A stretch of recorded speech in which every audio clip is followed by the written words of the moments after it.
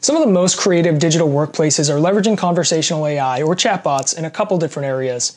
The first area we see are organizations that are integrating chatbots into their existing internal ticket desk. So it could be something like IT requests or HR requests or even operations, um, where we're beginning to see these chatbots automate frequently asked questions while escalating more complicated questions to a live agent. Secondly, we're seeing organizations build chatbots that integrate into existing knowledge bases, whether that's sales enablement or even document management platforms, so employees can access information and documents um, much quicker.